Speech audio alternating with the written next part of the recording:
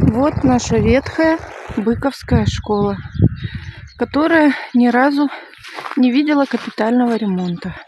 Уже год жители села Быково Шипуновского района бьют тревогу, борются за школу и обращаются во все инстанции. Напомним, после обрушения потолка в Быковской СОЖ учреждение закрыли на неопределенный срок. Наш телеканал уже освещал проблему в октябре прошлого года. На тот момент 80 учеников ездили в Шипуновскую школу номер 2 за 13 километров от села Быково. Битва за капитальный ремонт здания идет с 2015 года. По словам родителей, администрация района по-прежнему не на их стороне.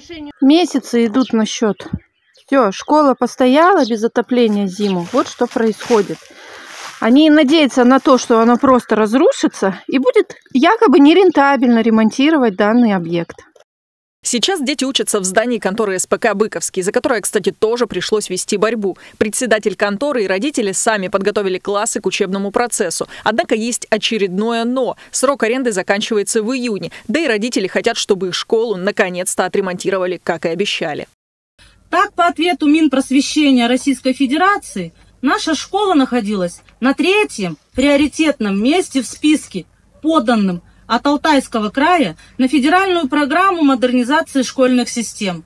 В итоге наш объект исключен из списка из-за ошибки в пакете документов, поданных администрацией Шипуновского района.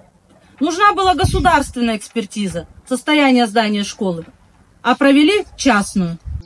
Да и с краевой программой по капремонту на 2024 год, судя по распоряжению краевого правительства от 8 декабря 2023 года, жители села Быкова тоже пролетели. Нас обещали включить в КАИП. Но вчера мы узнали, что нашей школы в списке опять нет. Просим пересмотреть списки КАИП и включить Быковскую школу имени Джурко в краевую программу по капремонту на 2024 год.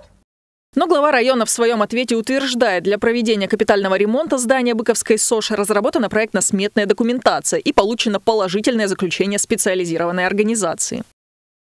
Ожидается, что в ближайшее время Министерством образования и науки Алтайского края будет рассмотрен вопрос о включении Быковской СОЖ имени Джурко в краевую адресную инвестиционную программу.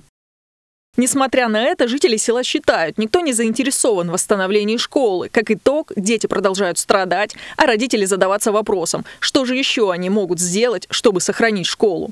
Юлия Щепина, День с толком.